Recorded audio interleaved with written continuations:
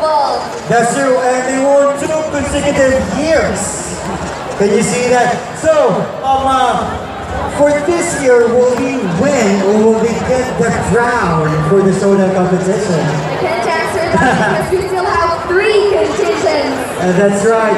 And can you please introduce the next contingent because I know they cannot wait to see this. Yes. Right? Look at that! Look at the crowd!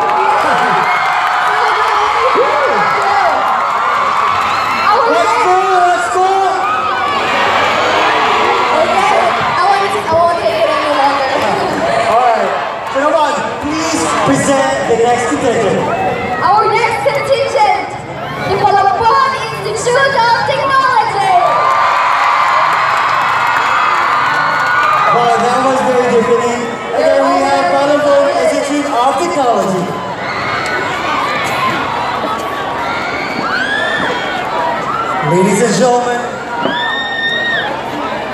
from the PIT,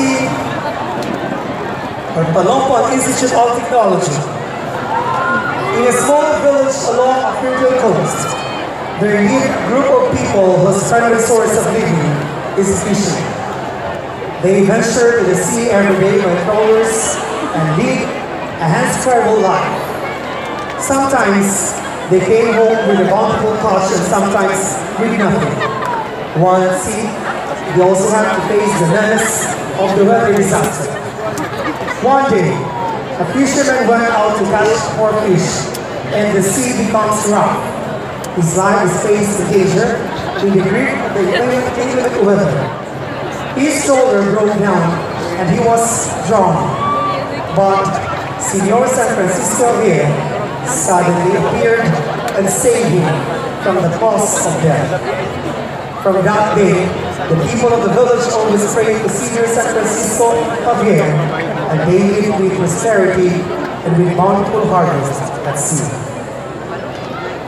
Daghang salamat, ah, Senor San Francisco. Viva Senor San Francisco Javier. Ladies and gentlemen, from the PIT, choreographed by Mr. Nelson Inahe. With group, Professor Joel Castillo. Let us all from the Palompon Institute of Technology. Your time starts now.